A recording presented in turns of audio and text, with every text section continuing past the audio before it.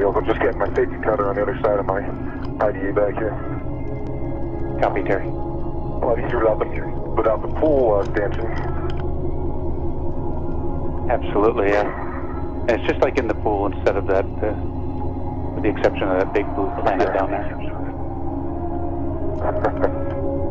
exactly.